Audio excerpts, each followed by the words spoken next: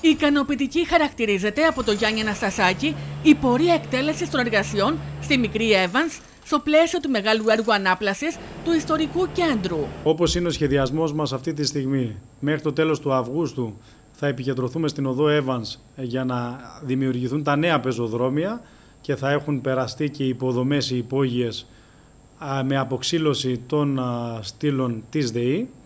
Θα επιστρέψουμε στο Μεϊντάνι ώστε να ολοκληρώσουμε τις καθαιρέσεις των πεζοδρομίων στο βόρειο κομμάτι της δικαιοσύνης που έχουμε σε εκκρεμότητα και θα ξεκινήσουμε την τοποθέτηση των κρασπέδων, τα οποία αναμένονται ως υλικά να παραδοθούν στο έργο εντός του Αυγούστου, ώστε να κλείσουμε με την σκυροδέτηση του μεσαίου τμήματος, στο οποίο έχουν ολοκληρωθεί εργασίες, μόνο ο ΤΕ μένει ε, στο κομμάτι του Μεϊντανιού να εκτελέσει ένα μικρό κομμάτι εργασιών ακόμα. Ο τηλεοπτικός φακός βρέθηκε στην Evans, όπου επικρατεί κλίμα ικανοποίησης σε μεγάλη μερίδα καταστηματαρχών σε σχέση με το ρυθμό εκτέλεσης του έργου. Πολύ καλά, έχουν πολύ καλό ρυθμό.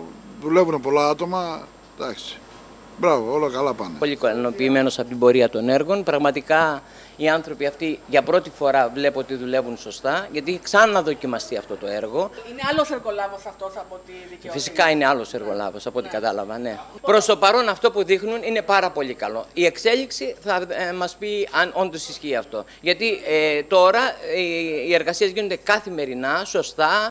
Μέχρι τώρα η συνεργασία μας με τον εργολάβο αλλά και με τους καταστηματάρχες και τους άλλους φορείς που δραστηριοποιούνται στο κέντρο είναι άψογη και γι' αυτό όχι μόνο τηρούμε το χρονοδιάγραμμα που είχαμε ανακοινώσει, αλλά είμαστε και πλέον μπροστά από το χρονοδιάγραμμα. Μέχρι τα τέλη Αυγούστου, τα συνεργεία θα επικεντρωθούν στην οδό Evans, με τη δημιουργία νέων πεζοδρομίων και όχι μόνο, με το Γιάννη Αναστασάκη να περιγράφει το σχεδιασμό για τον επόμενο μήνα. Είναι απολύτως εφικτό το Σεπτέμβριο να δούμε να ξεκινάνε οι επιστρώσεις στο σύνολο της περιοχής που έχουμε παρέμβει αυτή τη στιγμή και ίσως και στην Evans ανάλογα με τη διαθεσιμότητα συνεργείων που θα ασχοληθούν με το συγκεκριμένο αντικείμενο από πλευράς του εργολάβου. Εν τω μεταξύ, κατασηματάρχε επισημαίνουν τα κακό κείμενα στο εργοτάξιο, τα οποία όπως υποστηρίζουν λειτουργούν αρνητικά για την αγοραστική κίνηση, ζητώντας την παρέμβαση του Γιάννη Αναστασάκη. Από χθες και προχθές έχουμε επαναστατήσει όλα τα καταστήματα που είναι μέσα στα έργα. Έχουν παντελώς αφήσει ο εργολάβος όλα τα σκουπίδια σε σημείο να γίνει ένα σκουπιδόλακος μέσα η δικαιοσύνη, εκτός τα υλικά για να μην μπερδευτούμε, το να έχουν δημιουργήσει ένα φορτηγό σκουπίδια τα οποία να μην τα μαζεύουν, πεταμένες μπαλέτες, πεταμένα ξύλα, ε, εκατοντάδες τσουβάλια σακιά από υλικά τα οποία να τα παρετάνε εκεί, δεν κάνουν τίποτα εκτός των άλλων Εάν θα επισκεφτείτε δύο ιστιότοπους οι οποίοι είναι εμπορικοί, ένας αγγλικός και ένας γερμανικός, έχουν σηκώσει φωτογραφίες με στο κέντρο, να μην κατεβαίνουν οι τουρίστες να ψωνίζουν γιατί είναι όλο σκουπίδια. Αναφορικά με τις εργασίες ανάπλασης, στην οδό Αρχιεπισκόπου Μακαρίου, ο Αντιδήμαρχος δήλωσε.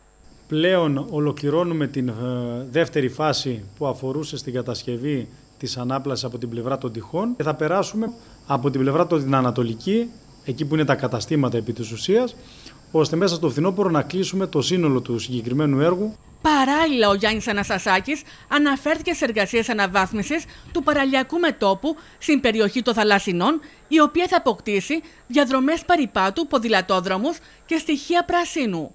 Μια σπουδαία ανάπλαση ε, που θα δώσει πρόσβαση επιτέλους στο παραλιακό μέτωπο στους κατοίκους της Νέας Αλικαρνασού που το αξίζουν και με το παραπάνω.